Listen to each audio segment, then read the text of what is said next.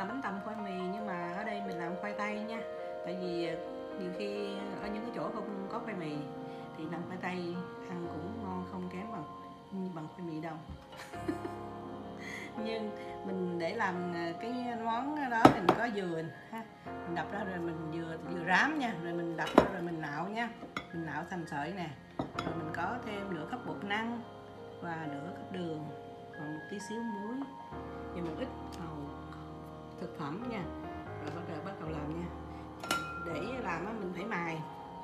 Nhưng mà mình mài bằng cái này nè là nó vừa nhất. Tại vì á, không có phải à, nó nó nó không to mà cũng không nhỏ nó vừa vừa thôi. Nếu mà mình nhuyễn quá nó cũng không ngon mà mài to quá nó cũng không ngon. Bây giờ sau khi sau khi mình gọt khoai tây xong đó mình à, ngâm vào nước muối pha loãng ha để cho nó ra hết cái mũ nha.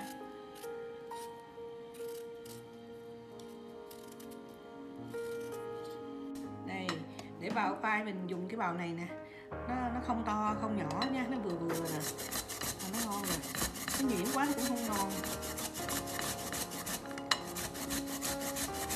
Khi mà mình mài ra, nó được như thế này, nó sẽ bị đen như vậy này là cái mũ của cái cái khoai tây đó. Bây giờ mình mình bỏ vô cái cái rây cái rây để mình lọc nó đi. Mình, giống như mình rửa để mình lấy cái xác của của khoai tây đó. Giờ cái này nó rộng hơn nè. Mình sẽ ờ, đổ nước. Mình để giống như mình rửa rửa để lấy cái ờ, cái xác của nó ha. Còn cái này á, mình chắc đi, mình lấy cái tinh bột lại nha.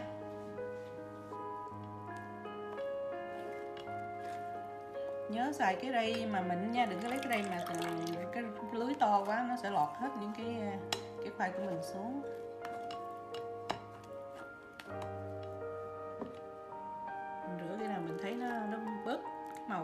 Nâu sẫm đi thì nó ok rồi.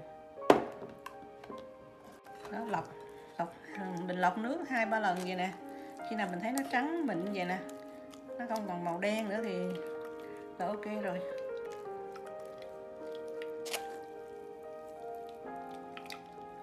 Bây giờ cái nước mình sẽ đổ đi nha. Và mình giữ lại cái tinh bột. Đây, cái tinh bột nó này tinh bột cũng chưa được trắng lắm thì giờ mình lọc bằng nước. Mình lọc bằng cái nước một lần nữa.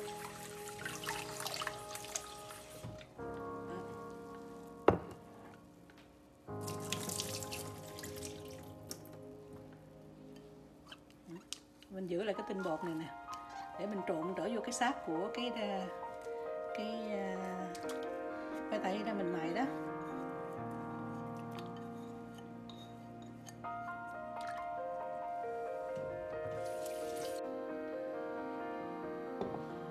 đây là cái tinh bột mà hồi nãy mình đã lóng đã lóng xuống đó. Mình đã chắc đi cái nước rồi. Bây giờ mình sẽ trộn vô trong cái à, trộn cái vô nha.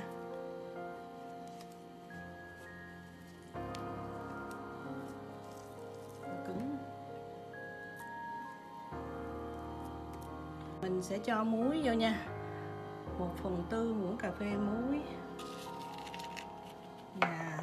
nửa khớp bột năng cho nó có cái độ dai, tại vì cái khoai tây thực ra nó không có dai.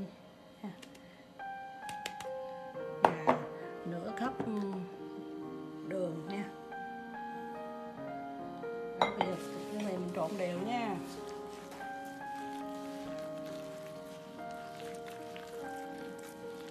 Màu à, màu lá dứa.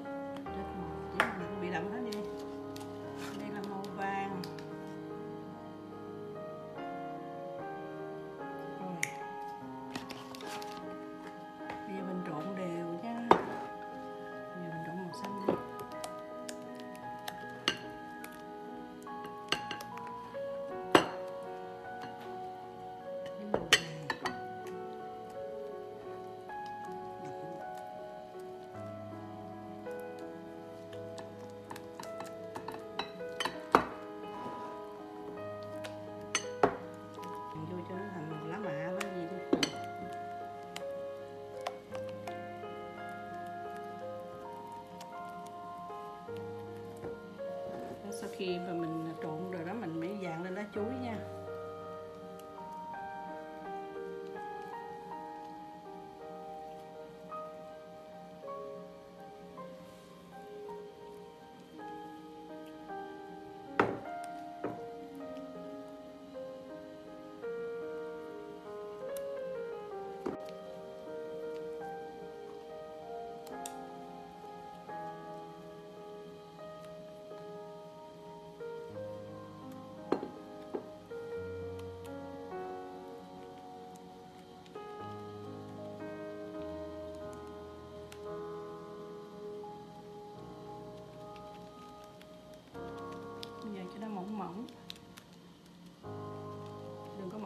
Không cắt nó bể.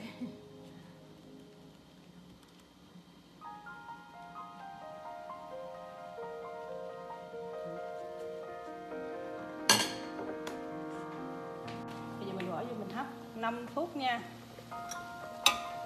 Okay.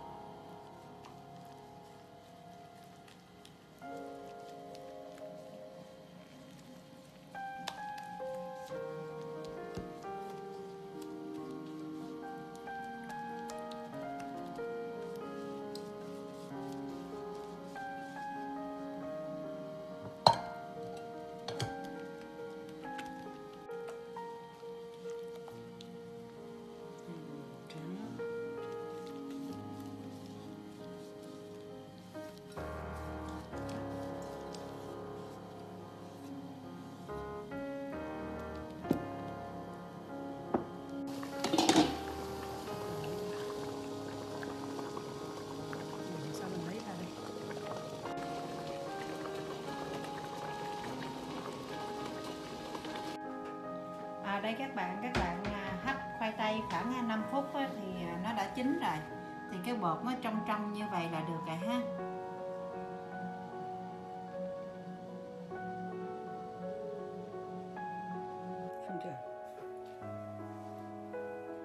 Bây giờ bánh của mình đã nguội.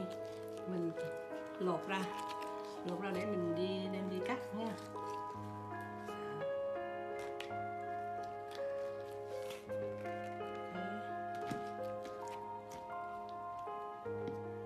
Một cái lớp dừa. Một cái lớp dừa lên nha.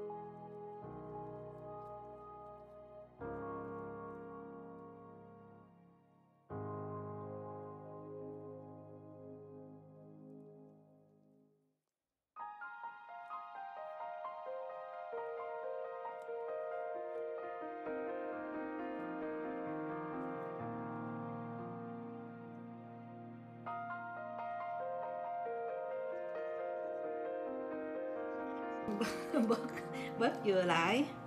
Ok. Bây giờ mình sẽ lấy dầu ăn, mình thoa vô trong cái con dao nha.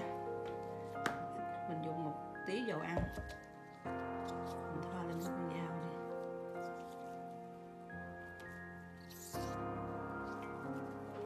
Và bây giờ mình sẽ cắt nha